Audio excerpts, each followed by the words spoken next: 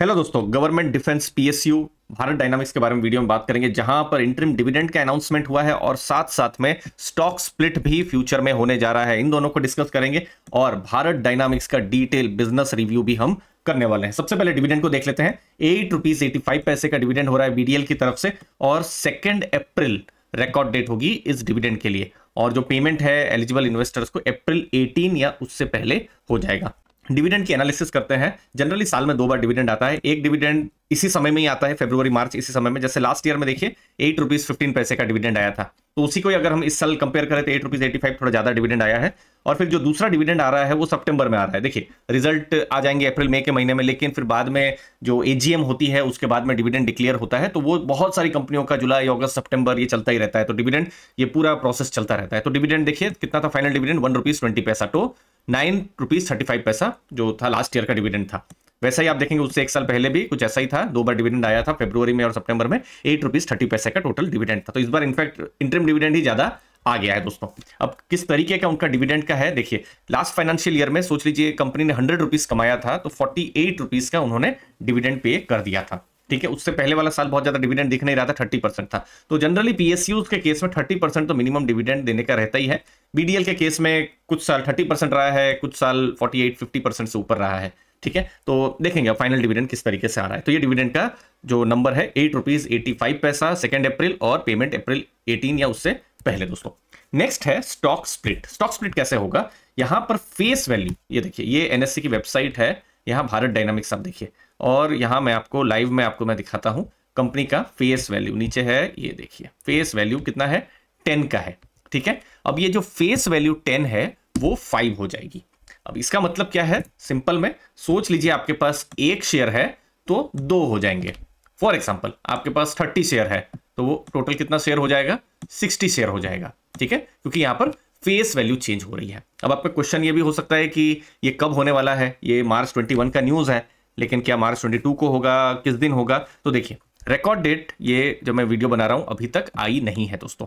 ये ध्यान में रखना है। यहाँ पर हमको एक्स डेट को देखना है। जो एक्स डेट रहेगी, उस दिन शेयर प्राइस एडजस्ट हो जाएगा। और एडजस्ट कैसा हो जाएगा? जो भी उस दिन शेयर प्राइस रहेगा, उसका आधा हो जाएगा। देखिए, अभी मार्च 21 को मुझे शेयर प्राइस 1660 दिख रहा है। हमको नहीं पता है फ्यूचर में क्या प्राइस होगा। फॉर एग्ज़ाम्पल 1700 का प्राइस रहता है। तो एक्स डेट के दिन साढ़े आठ में वो ओपन होगा। सोच लीजिए 1500 शेयर प्राइस रहता है। तो 750 में ओपन होगा। मतलब आप समझ रहे हैं, ये एडजस्टमेंट कब होगा? एक्स डिविडेंड डेट के दिन। और वो हमको अभी तक पता नहीं है, लेकिन आने वाले दिनों में इंफॉर्मेशन आएगी, हम आपको इन्फॉर्म कर देंगे। अब स्टॉक स्प्लिट पर चूँकि बात चल रही है तो कंपनी क्यों स्टॉक स्प्लिट कर रही है? देखिए, सबसे पहली बात है स्टॉक स्प्लिट होगा तो शेयर प्राइस एक्चुअली में कम हो जाएगा। ठीक है? अब उससे क्या होगा कि जो रिटेल पार्टिसिपेंट है, उनको थोड़ा इंटरेस्ट आ सकता है। सोलह तो ये सब जो भाव है, थोड़ा ज़्यादा लग सकता है, लेकिन कम भाव हो जाएगा तो क्या बहुत सारे और भी इन्वेस्टर्स यहाँ इन्वेस्ट कर सकते हैं, पहली चीज़ वो। दूसरी चीज़ है, कम भाव होगा तो लिक्विडिटी जो है जो कंपनी के हिसाब से कि उनको ऐसा लगता है कि लिक्विडिटी जो है वो भी बढ़ सकती है, ठीक है? तो इसीलिए ये कंपनीज़ जो होती हैं, वो स्टॉक स्प्लिट करती हैं। ये मेन ऑब्जेक्टिव रहता है दोस्तों। और ये जो टोटल प्रोसेस है, खासकर बीडीएल का, ये दो से तीन महीने में प्रोसेस पूरा कंप्लीट हो जाएगा शेयर होल्डर अप्रूवल के बाद में। इसीलिए अभी तक हम लोगों को रिकॉर्ड डेट पता नहीं है, वो इंपॉर्टेंट डेट है। जैसे डिटेल्स आएँगे, हम आपको इन्फॉर्म कर देंगे। हमारा जो टेलीग्राम ग्रुप है, उसको भी आप ज्वाइन कर सकते हैं दोस्तों। अब इंपॉर्टेंट चीज़ कि स्टॉक स्प्लिट एक इवेंट हो रही है। जैसे बीडीएल में स्टॉक स्प्लिट में खाली शेयर प्राइस थोड़ा सा नीचे जाएगा। लेकिन कोई फंडामेंटल्स चेंज नहीं हो रहे हैं, ठीक है? बहुत लोग को शायद ऐसा लग सकता है कि शेयर प्राइस कम हो गया है तो कंपनी बहुत सस्ते में मिल गई है इंट्रेंसिकली जो है उसकी वैल्यू कम हो गई है? नहीं, ऐसा नहीं होता है दोस्तों। शेयर प्राइस अगर कोई कंपनी का सोच लीजिए पाँच हज़ार रुपया का भी हो, लेकिन हो सकता है वो फंडामेंटली चीप हो, और कोई कंपनी हो सकता है सौ रुपए का भी प्राइस की हो, लेकिन हो सकता है वो फंडामेंटली महँगा भी हो।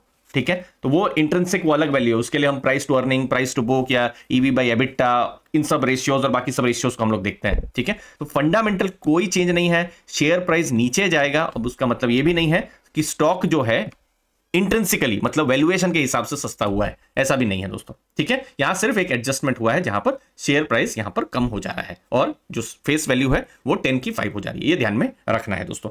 जैसे डिटेल्स आएँगी हमारे टेलीग्राम ग्रुप में आपको मैं बता दूँगा। अब बात करेंगे बीडीएल के लेटेस्ट बिज़नेस के बारे में। बिज़नेस में हम जाएँगे, बहुत सारे वैल्यूएशन को भी चेक करेंगे दोस्तों। उससे पहले एक इंपॉर्टेंट सूचना, आप हमारा टेलीग्राम लर्निंग ग्रुप को ज्वाइन कर सकते हैं, जहाँ पर अलग अलग business analysis passive income mutual funds dividend personal finance related pure content आते रहते हैं। नॉलेजेबल डॉक्यूमेंट शेयर करता रहता हूँ, आप आप इस ग्रुप में जा सकते हैं। 4300 से बड़ी की कम्युनिटी है ये टेलीग्राम ग्रुप में। मुझे उम्मीद है आपको वैल्यू ज़रूर मिलेगी इस ग्रुप को ज्वाइन करके भी दोस्तों।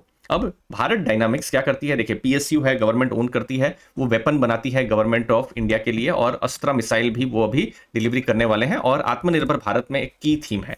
Market cap thirty thousand crore के आसपास है, आप स्मॉल कैप कंपनी मान सकते हैं। P ratio sixty three point nine मतलब कंपनी सोच लीजिए एक रुपया कमा रही है तो मार्केट 64 टाइम्स वैल्यूएशन देने के लिए रेडी है। अब पी जो मीडियन है वो 22 है। यही चीज़ मैं बता रहा था कि हिस्टोरिकल लेवल से कंपनी सस्ती नहीं है, ठीक है? ये चाहे स्टॉक स्प्लिट हो, नहीं हो, ये चीज़ ध्यान में रखनी हिस्टोरिकली मार्केट ने उनको 22 का पी दिया है कि मतलब आप एक रुपया प्रॉफिट कर रहे हैं मार्केट 22 टाइम्स वैल्यूएशन देगा। लेकिन आपने भी देखा होगा लास्ट वन ईयर में जो पीएसयूज हैं, चाहे वो डिफेंस पीएसयू हो या रेलवे पीएसयू हो, और फिर बहुत सारे पीएसयूज उनका वैल्यूएशन थोड़ा सा ऊपर हुआ है। तो वो हमको यहाँ भी दिख रहा है। देखिए लास्ट ईयर जनवरी महीना तक 27 का ही पी था उनका। अभी देखिए 60 के आसपास या 60 से ऊपर हो गया तो वैल्यूएशन में बहुत सस्ता नहीं है। आर ओ सी डिसेंट है 15.6 आर ओ थ्री डिसेंट है। बहुत ग्रेट नहीं है डिसेंट आप बोल सकते हैं। डेट फ्री कंपनी है, जो कि अगेन एक और पॉजिटिव है, जब हम भारत डायनामिक्स की बात कर रहे हैं। अब जो डिफेंस कंपनी है तो ऑर्डर बुक स्टेटस बहुत ही इंपॉर्टेंट हो जाता है। जनवरी का नंबर है ट्वेंटी थाउज़ेंड करोड़ के आसपास। क्योंकि ट्वेंटी थाउज़ेंड करोड़ है तो जो लास्ट ईयर का किस तरीके का, ये देखिए लास्ट ईयर का रेवेन्यू था, लगभग two thousand five hundred crore के आसपास। तो उनके पास आप मान सकते हैं एट टाइम्स ज़्यादा ऑर्डर बुक है। मतलब आने वाले बहुत साल के लिए उनके पास स्ट्रांग जो है बिज़नेस या रेवेन्यू की जो विजिबिलिटी है, वो उनके लिए स्ट्रांग है। कैसा फाइनेंशियल नंबर्स हैं? लास्ट थ्री इयर्स एक्चुअली में थोड़ा सा बिज़नेस इंपैक्ट हमको देखने को मिला है। इस साल भी देखेंगे नौ महीनों का भी जो रेवेन्यू है, थोड़ा कम ही देखने को मिल रहा है। अब वही क्वार्टर फोर में देखना है कि वो जो लास्ट ईयर का नंबर है, जो टू करोड़ उसको वो बीट करता है या नहीं करता है। इनफैक्ट मार्च टू में जो उनका रेवेन्यू था, वो रेवेन्यू अभी भी आया नहीं है। यहाँ पर एबिटा मार्जिन जो है, जिस पर हमारा फोकस रहता है, हमारे चैनल में हम बहुत देखते हैं मार्जिन एक्चुअली में लास्ट ईयर में कम हुए हैं। जो रॉ मटेरियल के प्राइस इंपैक्ट हुए थे तो प्रोजेक्ट्स थोड़ा सा धीमा चले थे, फिर उसके साथ साथ में, जो मार्जिन हैं, इन पे इम्पैक्ट आया था। मोस्टली ये रॉ मटेरियल के प्राइस बढ़ने के कारण। इस साल उतना रॉ मटेरियल का टारगेट नहीं दिख रहा है। अब देखते हैं किस तरीके से कंपनी का परफॉर्मेंस जाता है। प्रॉफिट देखेंगे। अच्छा ही हुआ है इस बार। और फाइनेंशियल ईयर 23 के कंपैरिजन में अगर हम देखेंगे कि नौ महीनों में अभी स्ट्रॉन्ग प्रॉफिट हमको देखने को मिला है जब हम भारत डायनामिक्स की बात कर रहे हैं। अब ओवरऑल देखने का रहेगा क्वार्टर फोर में किस तरीके का यहाँ पर रिज़ल्ट आ रहा है। यस रिस्क भी हमको देखना है। यहाँ पर बहुत डिपेंडेंट है। गवर्नमेंट के ऊपर गवर्नमेंट की क्या पॉलिसी है? डिफेंस के ऊपर, क्योंकि डिफेंस आत्मनिर्भर भारत पर बहुत कुछ अभी फोकस हो रहा है तो भारत डायनामिक्स को ज़्यादा ऑर्डर मिल रहे हैं। लेकिन ऑर्डर एग्जीक्यूशन भी देखना है कि वो ऑर्डर एग्जीक्यूशन समय पर कर पाए, नए ऑर्डर्स उनको मिलते रहे, ये ज़्यादा इंपॉर्टेंट है। बाकी हिस्टोरिकल लेवल से जो अगर हम खाली पी रेशियो देखें तो महँगा देखने को मिल रहा है BDL का, जो कंपनी है वो। आपके क्या व्यूज़ हैं? आपको क्या लगता है कि उनका क्या जो प्रॉफिट्स हैं डबल हो जाएँगे आने वाले तीन साल, चार साल में? आपके व्यूज़ ज़रूर बताइएगा कमेंट सेक्शन में। आपके समय के लिए बहुत बहुत धन्यवाद। थैंक यू दोस्तों।